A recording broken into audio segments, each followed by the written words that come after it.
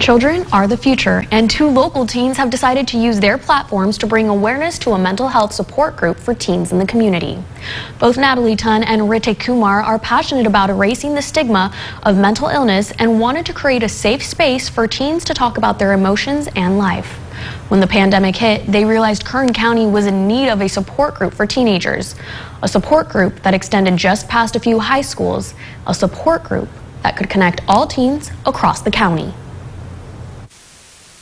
just like me, it's all about that connection between teens. Uh, its focus is to bring the youth uh, in Kern County together and uh, ultimately just uh, have that connection uh, between the youth of Kern County um, and just let them know that we're there for them and um, they're not alone when it comes to, uh, you know, feeling alone or having anxiety or um, anything related to mental health.